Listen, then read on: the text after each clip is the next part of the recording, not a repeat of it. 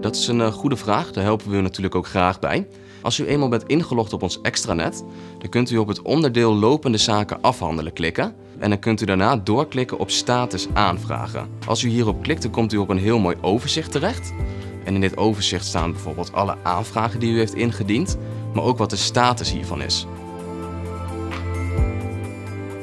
Ook ziet u hier de datum staan waarop u de aanvraag heeft ingediend en of de aanvraag al verwerkt is. Niet alleen de status van lopende aanvragen kunt u hier heel handig inzien. U kunt hier ook inzien wat de status is van doorgegeven wijzigingen. Dus heeft u een wijziging doorgevoerd, dan kunt u de status hiervan vinden bij het onderdeel wijzigingen. En daar ziet u dus ook direct staan of die verwerkt is.